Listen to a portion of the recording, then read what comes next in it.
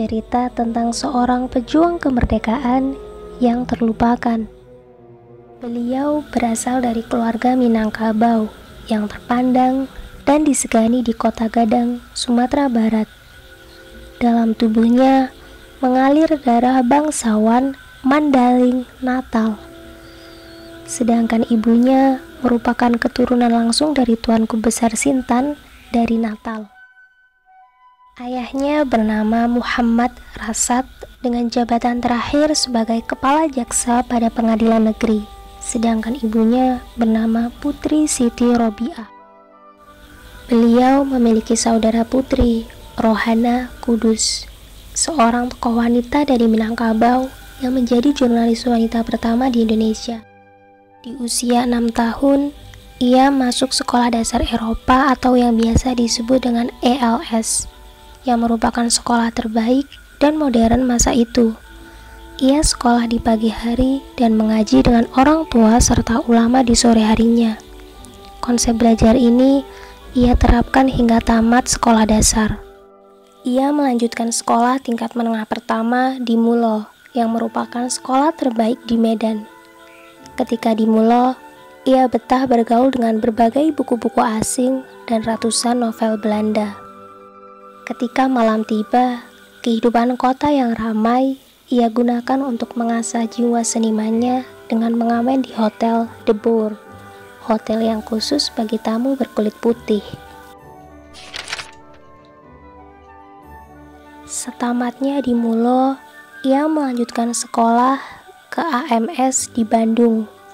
Pada mulanya, ia bukanlah murid yang menonjol, namun dalam perkembangannya, ia menjadi pandai bergaul, pemberani, bahkan mahir mendebat gurunya. Ia terkenal dengan anak yang cerdas dan terpandai di sekolahnya. Ia aktif dalam klub debat di sekolahnya, sebuah klub debat yang bernama Patrie Scientific, sebuah forum debat bagi pelajar dan pemuda tentang ide kebangsaan. Kegiatannya di klub diskusi itu membawa takdir pertemuan dengan sosok aktivis lain dari klub debat tetangga, yaitu Kusno alias Insinyur Soekarno. Di sekolah AMS, ia bergabung dalam Himpunan Teater Mahasiswa Indonesia atau Batovis. Selain sebagai aktor dalam teater tersebut, ia juga berperan sebagai sutradara dan penulis skenario. Hasil pentas tersebut ia gunakan untuk membiayai sekolah rakyat yang ia dirikan yang bernama Cahaya Universitas Rakyat. Dan di sinilah kisah Sultan Syahrir, The Smiling Diplomator, dimulai.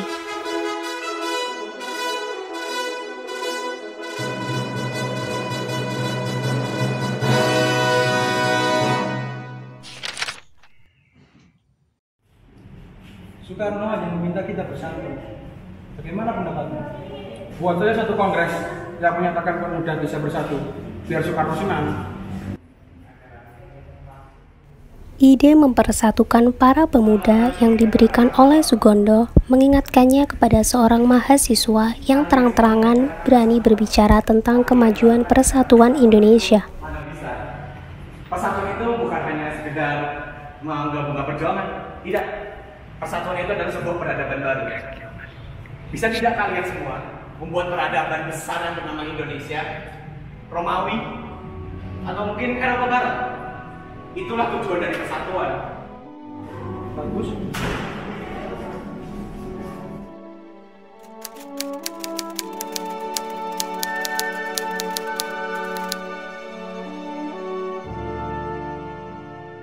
Selamat pagi, saudara-saudara perwakilan dari masing-masing daerah. Sebelum kita memulai Kongres Pemuda dua hari ini, marilah kita berdoa terlebih dahulu. Berdoa dipersilakan. Saudara-saudara, sebelum kita memulai rapat pada hari ini, marilah kita menyanyikan lagu kebangsaan Indonesia Raya. Hadirin dipersilakan untuk berdiri.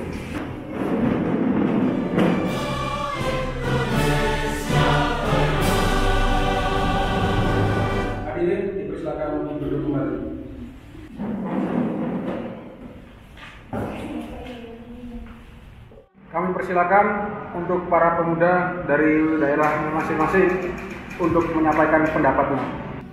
Saya dari perwakilan Jogjawa ingin kongres ini menghasilkan keputusan yang bisa menyatukan pemuda di Indonesia.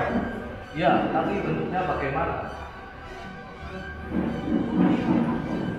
Bagaimana kalau hasil kongres nanti kita ikrarkan bersama-sama agar pemuda Indonesia dapat bersatu untuk merdeka? Ada baiknya mari kita bicarakan apa surat tekad untuk diikrarkan. Dan bendera merah putih harus menjadi bendera kita kelak saat Indonesia merdeka. Lagu Indonesia Raya harus dijadikan lagu kebangsaan Indonesia dan harus dinyanyikan setiap rapat-rapat pemuda. Kota setuju supaya lagu Indonesia Raya bisa dikenal di seluruh Nusantara. Bahasa Indonesia harus dimasukkan sebagai bahasa persatuan karena kita telah menggunakan bahasa ini dalam rapat-rapat dengan seluruh perwakilan Indonesia. Baiklah, saudara-saudara sekalian, usulan sudah saya katakan. Terima kasih. Saudara-saudaraku, saya berharap hasil pada rapat hari ini dapat menyatukan persatuan dan kesatuan dalam sanubari para pemuda di Indonesia. Setuju.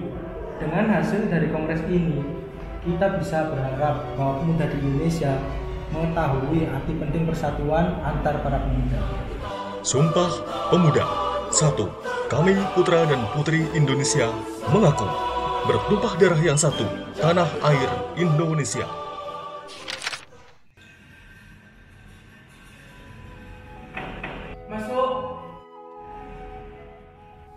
Syahrir melanjutkan kuliahnya di Fakultas Hukum Universiteit van Amsterdam dan bertemu Salomon Tas, Ketua Himpunan Sosialis Demokrat di Belanda. Senang bertemu dengan Anda. Saya Salomon Tas, ketua organisasi di sini. Selamat bergabung di organisasi kami. Dengan banyak pengalaman di organisasi, ia dijadikan sekretaris oleh Muhammad Hatta di Perhimpunan Indonesia.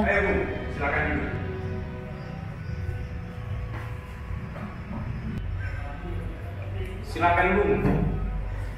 Jadi ada apa? Bu, untuk mewujudkan tujuan kita ini, kita perlu media.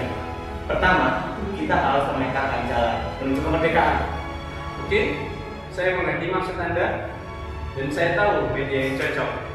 Kita dapat mewujudkannya. Kita dapat menemukan jala kita dengan majalah dalam rakyat.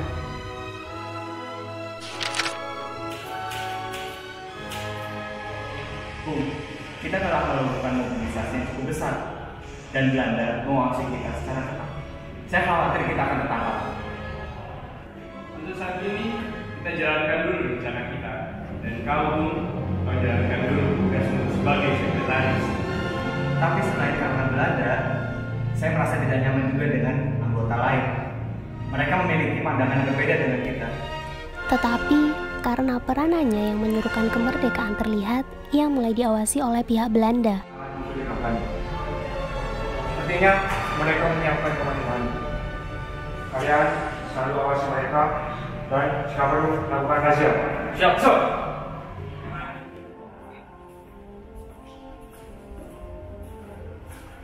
Bung, silahkan dicek.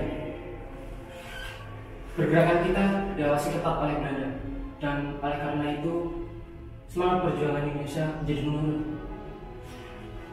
Saya sudah mengetahui hal itu.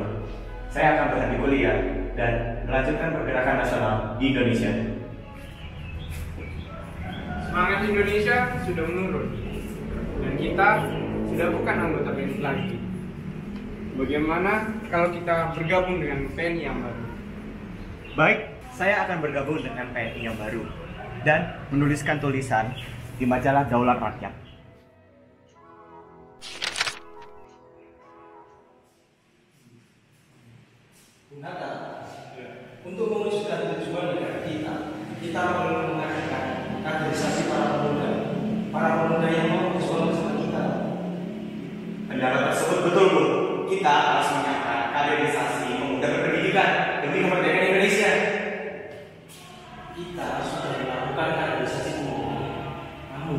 Belanda semakin mencurigai pergerakan kita. Bagaimana bisa? Apakah Belanda sudah mengetahui pergerakan kita? Betul, Belanda sudah mengetahui pergerakan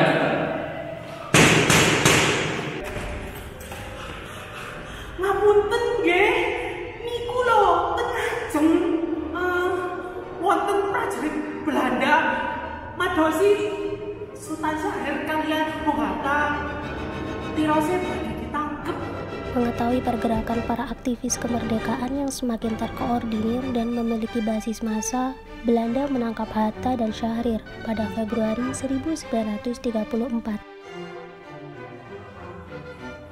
Sedangkan Soekarno dibuang jauh ke Ende, Flores, karena khawatir dengan basis massa pendukung Soekarno di Pulau Jawa yang telah melampaui batas.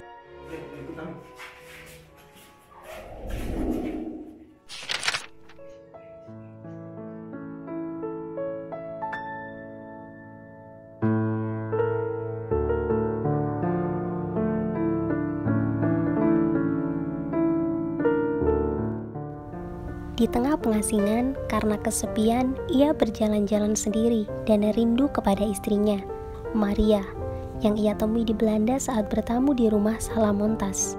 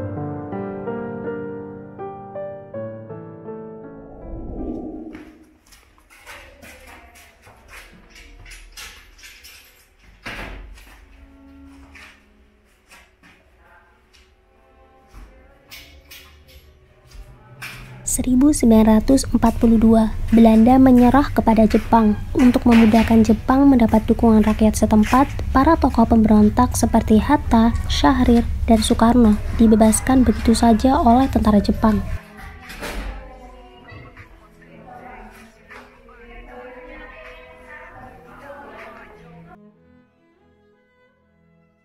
Setibanya di Jakarta, Soekarno memutuskan untuk bertemu dengan Hatta dan Syahrir di kediaman Hatta.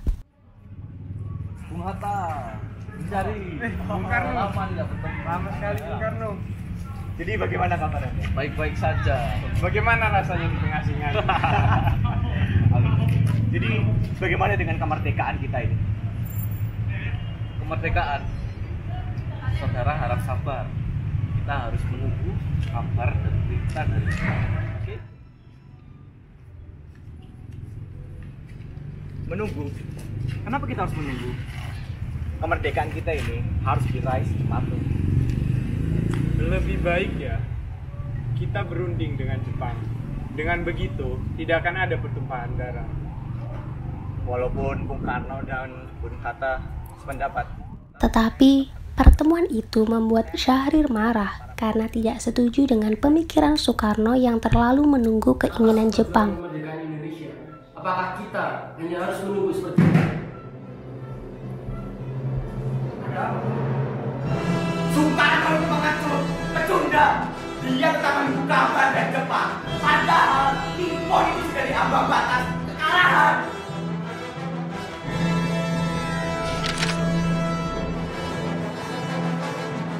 Syahrir yang terbiasa mendengarkan radio mendengarkan suatu hal yang tak terduga, yaitu pengakuan kekalahan Jepang terhadap sekutu. Ernest Hope and then took their places, and the brief ceremony began. Is my earnest hope, and indeed the hope of all mankind, that from this solemn occasion a better world shall emerge out of the blood and carnage of the past. ia pun langsung memutuskan untuk bertemu tokoh muda yang lain untuk melakukan perundingan dengan Soekarno mengenai proklamasi kemerdekaan Indonesia. Apa kalian semua sudah mendengar berita tentang kekalahan Jepang? Belum. Memangnya kenapa dengan Jepang? Dari yang saya dengar, Sekutu telah menjatuhkan bom ke kota Hiroshima dan Nagasaki. Oleh sebab itu, Jepang melakukan gencatan senjata. Kalau begitu, kita harus segera memproklamasikan kemerdekaan bangsa ini. Benar sekali. Jepang kan sekarang sudah tidak mempunyai wewenang terhadap negara kita. Jadi kita harus memanfaatkan momen ini. Sekarang, Bung. Sekarang. Malam ini juga kita kobarkan revolusi. Kita harus segera merebut kekuasaan. Jika Bung Karno tidak mengeluarkan pengumuman pada malam hari ini, akibatnya akan terjadi pertumpahan darah dan pembunuhan massal esok hari. Ini, matang leherku. Ayo, tebas sekarang. Kau tak perlu menunggu esok untuk pertumbuhan darah. Soekarno, Sabar, sabar. Wikana, jika saudara sudah merasa siap dan merasa sanggup untuk memproklamasikan kemerdekaan, kenapa tidak saudara lakukan sendiri? Kenapa harus menunggu Soekarno? Apa kita harus menunggu kemerdekaan kita ini diberikan? Jepang itu sudah kalah, Bung. Mengapa kita tidak menyatakan kemerdekaan kita sendiri sebagai suatu bangsa? Kekuatan kita yang berdiri ini tidak cukup kuat untuk melawan Jepang yang masih ada di sini. Kamu sekali, apa yang bisa kamu perlihatkan pada saya? Kamu Khairul, apa tindakanmu untuk keamanan perempuan dan anak-anak? Bagaimana kita mempertahankan kemerdekaan setelah proklamasi? Coba kalian bayangkan, bagaimana kita bisa tegak di atas kaki kita sendiri? Ya sudah, kita diberikan waktu dulu untuk berpikir. Beri kami waktu untuk berunding. Kalian boleh pulang dulu.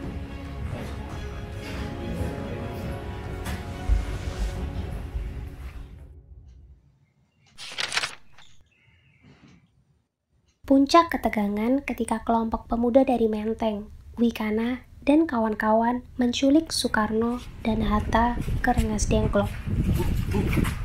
Bagaimana? Apakah kamu sudah mempersiapkan alat yang kamu pinjam dari markas peta? Sudah. Lalu ada siapa di sana? Di sana ada Latif yang sudah menjaga markas dan menjaga rahasia ini. Kalau begitu aman. Saya jamin pengasingan ini akan berjalan sesuai dengan rencana. Saya jamin. Nah, kita berangkat. Syahrir terkejut setelah diberitahu oleh salah satu temannya bahwa Dwi Tunggal benar-benar diculik oleh pemuda. Ada apa teriak-teriak? Jenengan apa mboten mireng penculikan Soekarno Hatta? Apa? Penculikan? Golongan muda yang lain memberitahu saya kalau eh, Soekarno Hatta itu diculik di ke Rengas Dengklok untuk diasingkan. Jika terjadi apa-apa dengan mereka berdua, bukan hanya kita yang terkena masalah, tetapi negara ini juga. Mereka mengatakan kepada saya bahwa eh, mereka itu mencuri Soekarno Hatta untuk mendesak agar segera memproklamasikan kemerdekaan. Jika mereka dalam masalah, orang yang menculik mereka lah yang akan bermasalah dengan saya.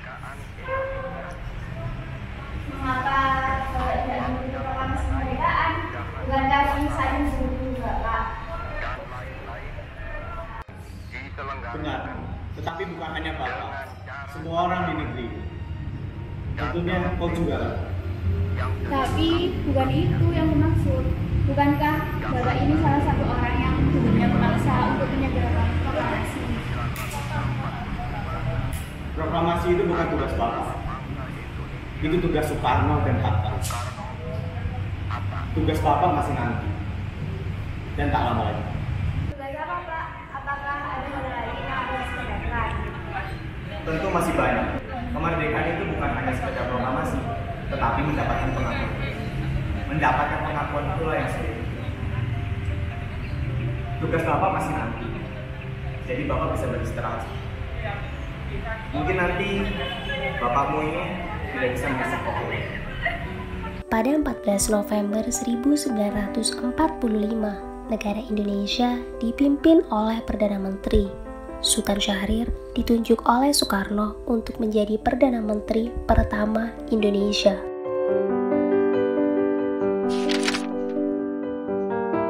Syahrir, Hatta, Sudirman, dan Tan Malaka berbincang tentang pengakuan negara lain. Benar. Dengan begitu, negara ini nanti akan dipimpin oleh seorang Perdana Menteri yang bebas dari pengaruh Jepang. Dengan begitu, memudahkan negara ini untuk mendapatkan pengakuan kedaulatan. Ya, baiklah. Mari kita selesaikan dan putuskan hasil dari otak ini. Uh, jika keputusan ini sudah bulat, maka akan diserahkan kepada Presiden. Apakah ada pertanyaan? Tidak. Tidak. Oke. Saya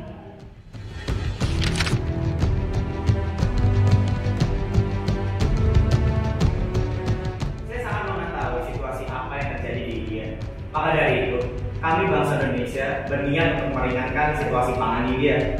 Saya yakin rakyat Indonesia tidak akan keberatan mengirim 500 ribu ton beras kepada India. Kalian bersedia memberikan 500 ribu ton? Ya, tapi kami juga berharap kalian dapat membantu kami dalam bidang tekstil dan obat-obatan.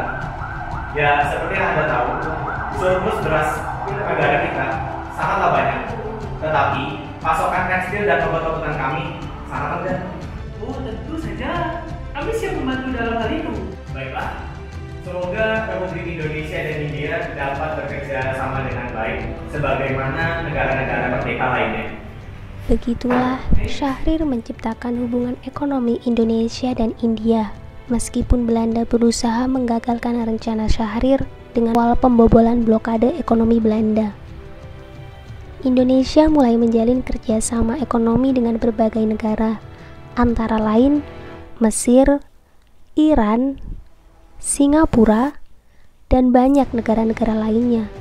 Kesuksesan Syahrir menjalin hubungan dengan negara-negara luar ini menjadikan ia disebut sebagai bom atom dari Asia. Sampai terjadilah perundingan Linggarjati. Morning, gentlemen.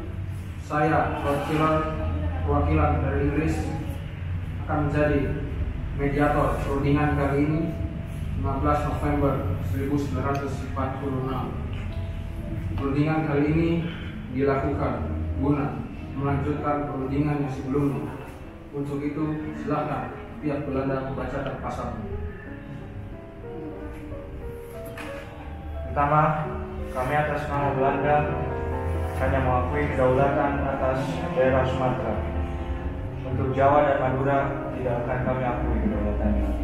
Tidak, saya tidak setuju dengan pasal ini. Bagaimanapun juga, Sumatera itu adalah wilayah dari Indonesia. Saya meminta kedaulatan penuh atas seluruh wilayah Indonesia, bukan hanya Jawa dan Madura. Baik, kami akan mengakui negaramu. Kami akan mengakui Jawa, Sumatera, dan juga Madura. Tetapi Indonesia harus menjadi negara serikat. Tidak, saya tetap tidak setuju. Negara serikat tidak akan pernah cocok dengan negara ini. Negara ini akan runtuh jika pasal itu diberlakukan. Kalian hanya membutuhkan pengakuan kedaulatan. Apa pun bentuk negaranya, itu tidak penting. Memang, untuk saat ini memang tidak terlalu penting. Tapi bagaimana dengan ke depannya? Untuk apa? Sebentar, izinkan saya memotong perundingan kali ini. Lebih baik pihak Belanda meminta pendapat tokoh berkisah yang lain agar mendapatkan titik terang dari pasal ini. Ya, kami dengar Bung Karno berada di sekitar sini. Lebih baik kami akan berunding dengan dia terlebih dahulu. Baik, silakan.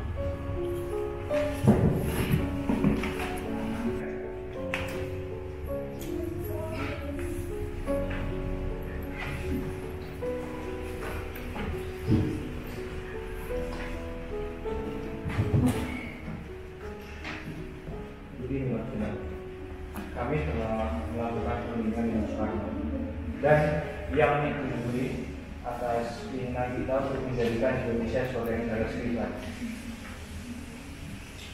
Oke, baiklah. Saya tidak bisa menyangkal pernyataannya. Kami akan menerima itu. Tapi, negara Belanda harus pergi dari Indonesia pada 1 Desember 1949. Ya, kami akan meninggalkan Indonesia tanggal tersebut. Selanjutnya, kami akan membentuk uni antara Indonesia dan Belanda yang dipimpin langsung oleh Ratu Belanda. Pembentukan uni ini bertujuan untuk mempromosikan kepentingan bersama antara Belanda dan Indonesia. Baik, perundingan antara Indonesia dan Belanda kali ini menghasilkan keputusan satu. Belanda mengakui secara de facto wilayah Republik Indonesia yaitu Jawa, Sumatera, dan Madura.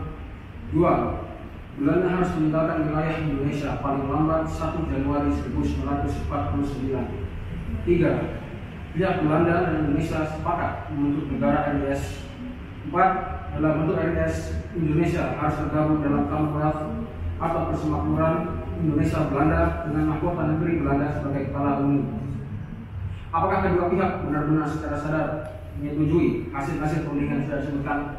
Ya, kami menyetujuinya secara sadar dan setuju. Ya, saya setuju. Hasil perundingan ini baru ditandatangani oleh kedua belah pihak secara resmi pada 25 Maret 1947.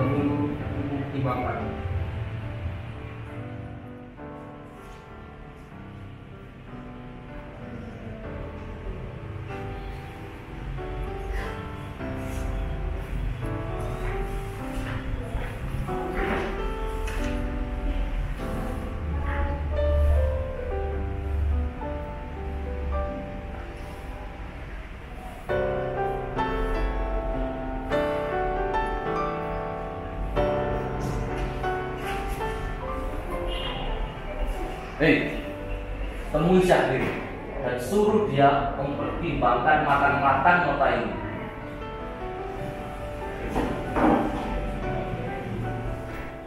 Syahrir yang sudah memikirkan balasan berhari-hari akhirnya menuliskan hasil pertimbangannya pada sebuah kertas. Syahrir menyampaikan nota balasan itu kepada Belanda, tapi banyak orang menganggap balasan Syahrir terlalu lemah. Partai-partai dalam KNIP menunjukkan ketidakpercayaannya. Bahkan partainya sendiri melepas dukungannya. Hingga pada 3 Juli 1947, Kabinet Syahrir menyerahkan mandatnya kembali kepada Presiden Soekarno.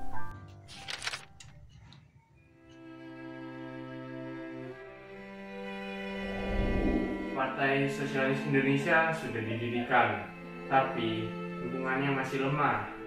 Pasti sangat membutuhkan dukungan untuk mewujudkan tujuannya ke depannya. Mengapa tidak menggabungkan Paksi dan Para saja? Keduanya sama-sama bekerja di bidang sosial. Ya, itu bagus. Dengan begitu kita mendapat dukungan yang lebih banyak.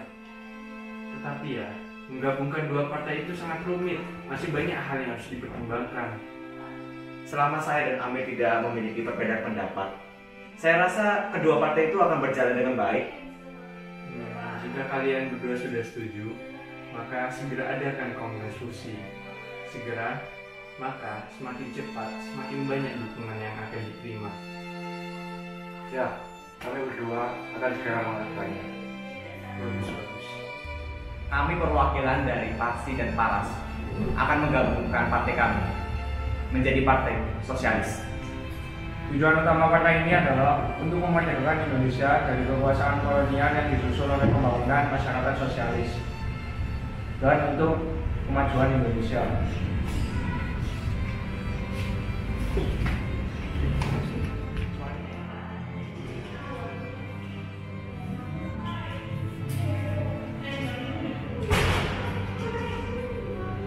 korupsi sudah dilakukan. Dukungan juga pasti akan meningkat. Pemilu ini sudah tidak lama lagi kan? Ya, benar. Sepertinya kita akan mendapat dukungan yang sangat banyak. Saya yakin Parsi dan Paus akan mendapatkan kursi.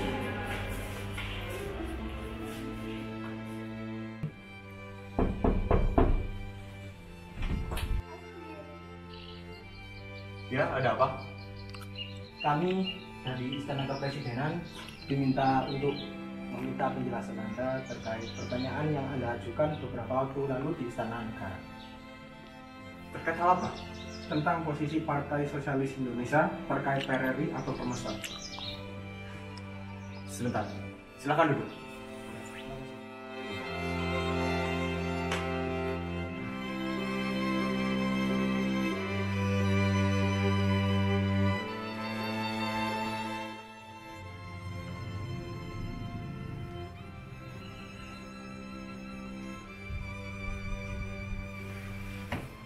Berikan ini kepada Presiden. Baik, saya terima. Terima kasih.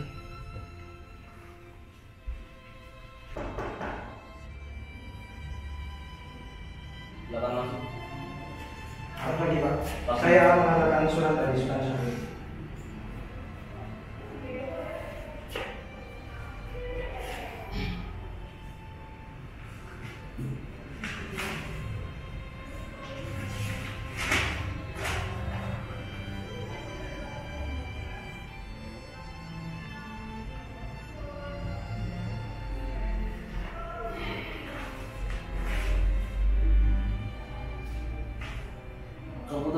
Sudah bulat. PSI dan Mas Rumi akan segera dibubarkan. Tak akan ada celah bagi partai pemberontak di negara ini. Ya, Pak. 7 Januari 1962 Jalan Cendrawasih menjadi saksi insiden penggranatan di tengah konvoi presiden. Ledakan dahsyat meledak dekat posisi mobil Soekarno. Untungnya Soekarno selamat, tapi lima orang tewas dan 31 orang luka-luka. Hal ini membuat Soekarno murka.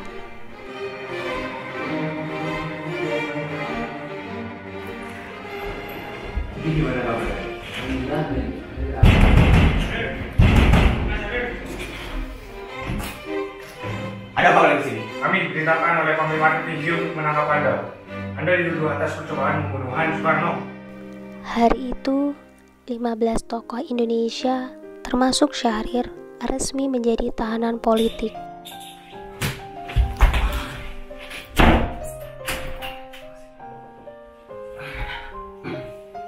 Kenapa kita dikumpulkan di sini? Soekarno telah menjadikan kita tersangka atas tragedi penggranatan dan sudah jelas penahanan ini pastilah bersifat politik dan sasarannya merupakan PSI dan Mas Yumi. Pemilu 1955 pun berjalan. Ide Syahrir kurang mendapat tanggapan dari rakyat. Sejak saat itu, karir politik Syahrir terus merosot dan benar-benar menghilang.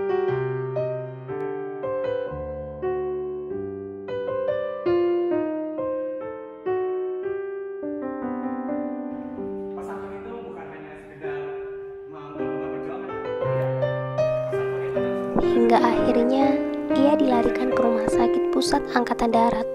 Tapi tetap saja kondisinya tidak kunjung membaik, sehingga dengan pengamanan ketat, Syahrir dibawa ke Swiss.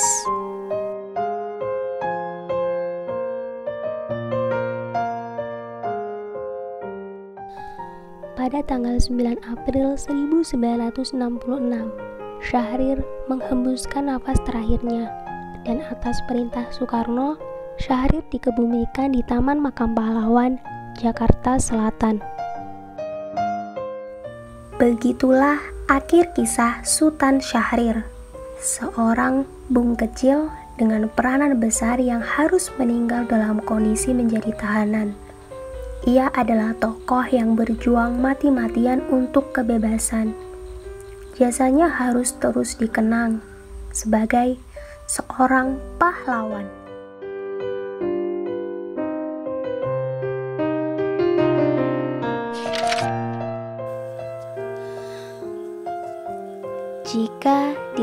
Isinya, tidak bisa dipungkiri bahwa Sultan Syahrir memiliki peranan yang sangat penting bagi Indonesia. Dimulai dari perjuangannya untuk mewujudkan kemerdekaan Indonesia, menjadi Perdana Menteri mewakili Indonesia, dan diakhiri menjadi seorang anggota partai. Menurut kalian, apa yang paling penting dari tugas pembuatan film ini? Apakah dari segi hiburan atau hanya untuk nilai tugas? Tetapi, selain kedua hal tersebut, yang lebih penting yaitu menyadarkan kalian bahwa kalian sebagai pemuda milenial memiliki tanggung jawab dan peranan yang sangat besar bagi bangsa ini, yaitu sebagai agen perubahan masa depan bangsa menuju pembangunan dan kemajuan peradaban yang lebih baik.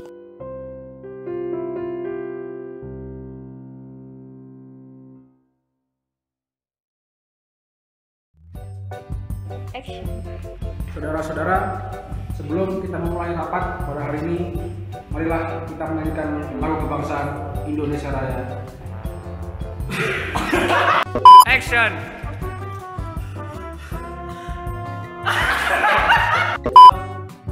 Action.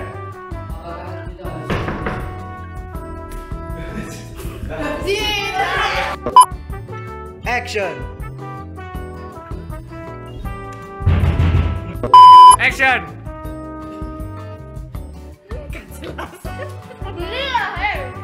Ayo, tembak oleh. Anak menjadi Kami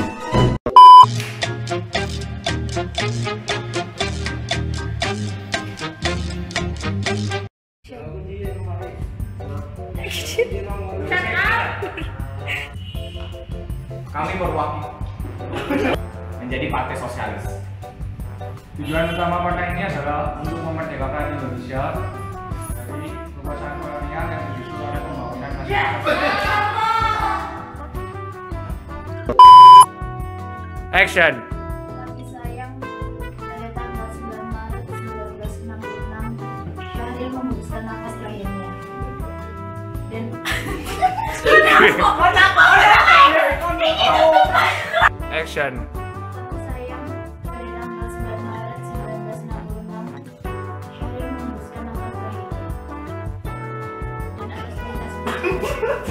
Gak apa nih? Tutupin goblok! in the shower. Uh,